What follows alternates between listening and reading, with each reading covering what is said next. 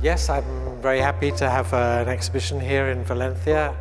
Um, I was invited some months ago to, to bring some works that had been previously exhibited in Lisbon over here, but as I explained um, to the organizers, uh, every exhibition is, has to be a new experience, especially made for the space. So I studied very hard. It was impossible to visit, unfortunately, due to the pandemic, to come to Valencia.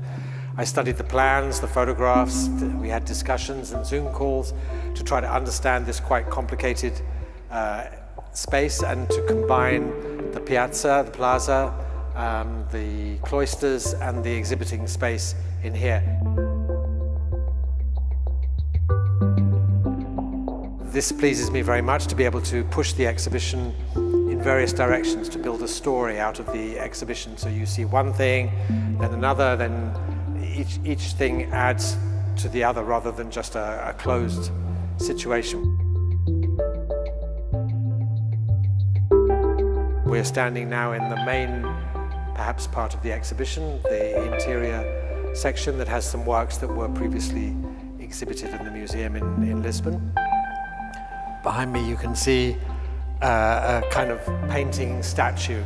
And all of the works are playing between the idea of drawing, painting, statues. This is, in some ways, it's a four-sided painting, um, but also it stands in the middle of the room, so it becomes a sculpture. You can experience it by walking around like a film. It unravels and unrolls as you move around, then you come back to the beginning. And in a similar way, the paintings that you might see over on the wall next to us, these are color field paintings in a sense, but each, uh, each of the figures within it brings a dynamic and a movement and a different color across the field of painting.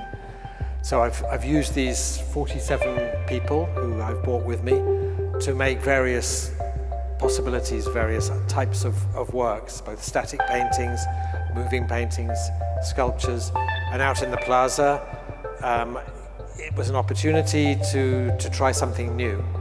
So I had a project to build some, some drawings that have, are built of straight lines. You see all these drawings are built of curved lines.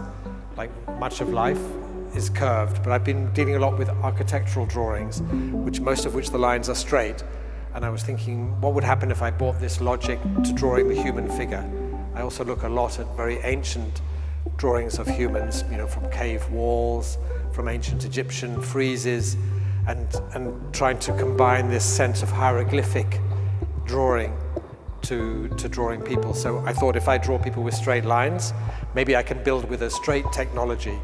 And I looked at uh, the kind of I-beams that are used to build buildings. You see when a building is being built in your city, you see these structures of I-beams going up very tall against the sky. They create a very interesting kind of dynamic drawing.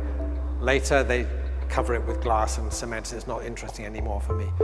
But there is a period there where there is a very three-dimensional dynamic. So in the square, if you come and see the exhibition, you'll see the, the, the solution to this question.